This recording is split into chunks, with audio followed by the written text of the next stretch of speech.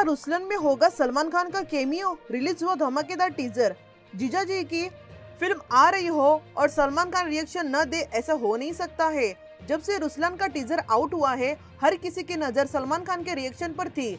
आखिरकार सल्लू मियाँ ने बता ही दिया कि उन्हें जीजा आयुष की फ़िल्म की पहली झलक कैसी लगी। सलमान ने फ़िल्म का टीजर इंस्टाग्राम अकाउंट पर शेयर किया है।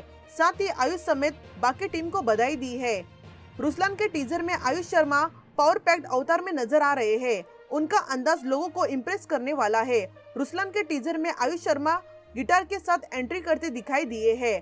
टीजर देखकर अंदाज़ा लगाया जा रहा है कि फ़िल्म एक शख्स को खुद को अपने टैलेंट के दम पर साबित करने की कहानी दिखाने वाली है।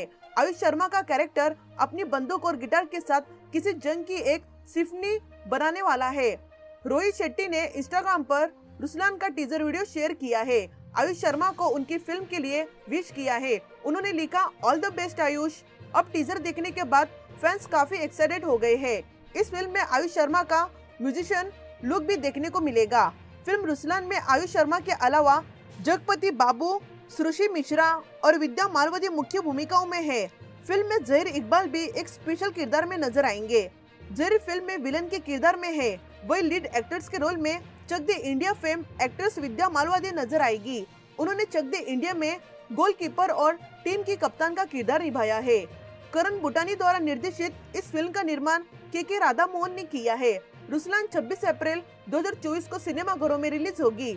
आयुष आखिरी बार अपने बहनोई और सुपरस्टार सलमान खान के साथ फ़िल्म अंतिम में नज़र आए थे।